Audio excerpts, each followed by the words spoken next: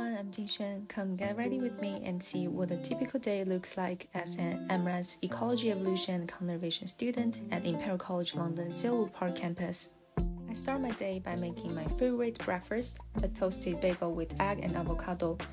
I cut the avocado into slices, always love seeing the fresh green color in the morning, and then I fry the eggs, toast the bagel, and enjoy a nice simple breakfast to kick off the day to the computer lab to do some data analysis for my thesis project.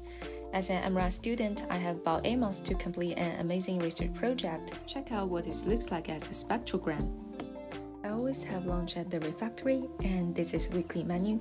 In addition to the main meal, there's also snack bar and salad bar. I usually grab a yogurt as a little afternoon treat. After lunch and a short break, I return to the lab to continue my analysis. I really appreciate the beautiful nature around campus. It refreshes me and helps me work better. Now it's time to move. Our new court let us play pickleball, badminton, or basketball. Sometimes I just go for a walk around campus to enjoy the sunshine. You might even meet our friendly campus cat, Mr. Tinkle. Spending time with him always brightens my day.